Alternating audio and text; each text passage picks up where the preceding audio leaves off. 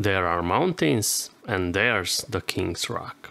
First of all, I didn't forget to shave, it's just a phase. Secondly, behind me is the Botorog Fountain, we are in Piatra Craiului Mountains, also called the King's Rock. Edit couldn't come this time, so we are starting this hike with Blanca, whom you saw in the video about the yokai hike for at least 3 frames. And we're leaving to Curmătura hut. We are climbing on the typical yellow line marking and the objective for today is the Piatra Mica peak, meaning Little Rock, which I've never climbed before. I traversed the whole ridge of the King's Rock, I climbed the route, I hiked around the Diana shelter, but I've never been on the Little Rock. Yesterday, after I pitched my tent and I put my map and sleeping bag inside, you won't guess what happened my mattress deflated. In the last year, this is the third mattress that deflates under me. This is the mattress that Edith used the whole time during our trip in Iceland without problems. But I'm already a pro after the experience in Iceland where we had to repair my mat. I have found the hole in just a few short hours. So what can I say? I took care of it fast. At least I wasn't bored during the night. Unfortunately, it's not perfect. I have to inflate it every 3 hours, but at least I could get some sleep. After that, the next morning didn't start without problems either. At our accommodation, there was a camp for children, and the organizers considered that it's a good idea to wake up the kids with loud music from speakers. And if everybody was awake anyway, let the music shout. This is how you're supposed to educate the kids at the camp, with blaring music. The next day it was the same, so I couldn't abstain myself and told one of the organizers that going into nature shouldn't be associated in the future generation with making noise, especially if there are others around as well. Hopefully they will take it into consideration in the future, but I may be naive.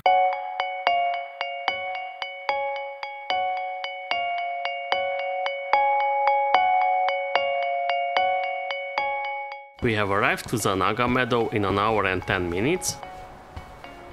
The weather is perfect. And soon we'll see a lot of beautiful things.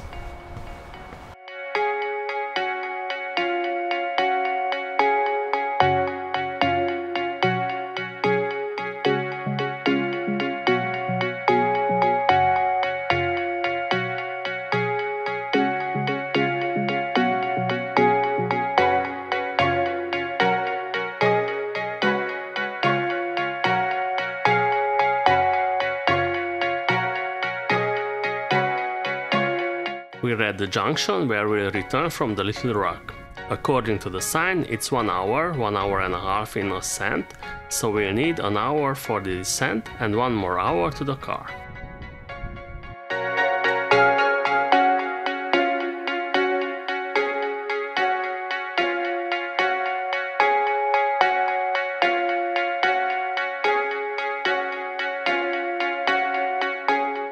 Very crowded on Saturday. We're getting close to the hut, and if I'm not mistaken, here's the mountain rescue team. We are on time, we arrive to the hut in 2 hours and 5 minutes, we'll rest a little and get some water, then we prepare for the worst.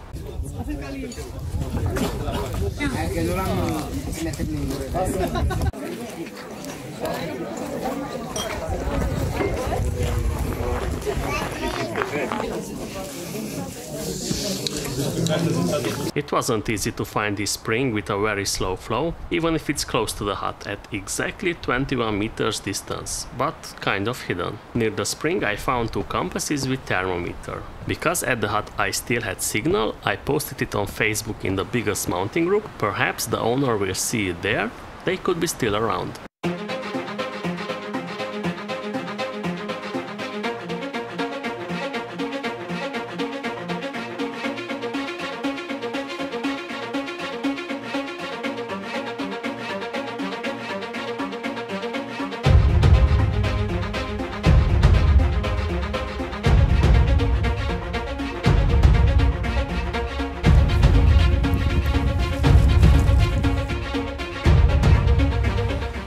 The sake of good old times, we dressed up as miners. Only older folks will understand the joke, and we're beginning our climb to the Little Rock. We have here a sign for a detour and signaling falling rocks, so pretty with the helmets. We're starting.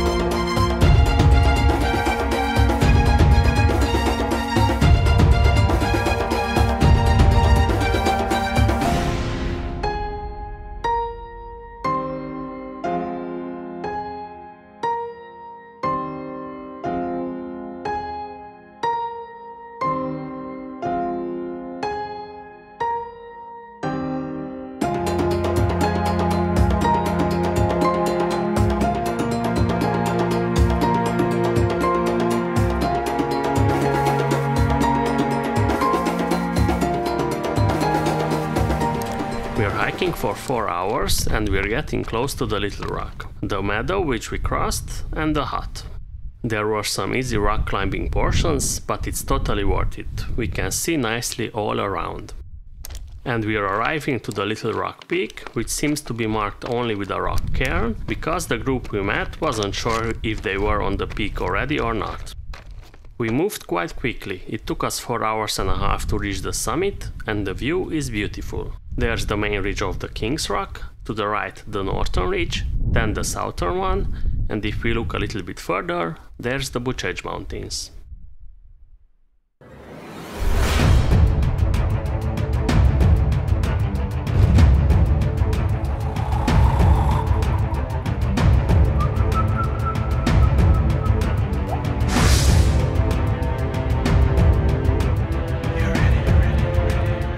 We are descending to the Noaga Meadow and this steep trail in the forest is pretty unpleasant.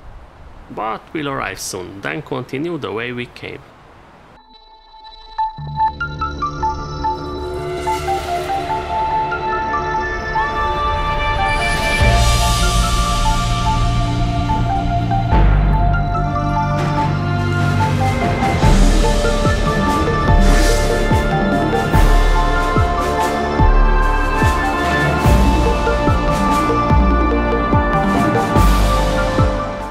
Left six and a half hours ago and we are just getting back to the junction and from there we have about one more hour. The footage stops here suddenly and not without reason. A few minutes before getting to the car, already in the dark, I realized that something happened to me that never happened in decades of hiking. I lost my car keys. I don't know how, it was in the same pocket of my pants as always. I guess I somehow pulled it out with my phone when I was filming or making pictures. Since then, even for short walks, I use the key clip of my backpack. The next day, we searched every centimeter of every place where I took pictures or videos, but we couldn't find it. We announced the mountain rescue, the hut, the police, and the national park, but we heard nothing about it, and it's almost two years since then. Our luck in the bad fortune that Edith couldn't come for this hike, so she could send the reserve key with the night train, and one of my friends in Brasov could take it to our tent.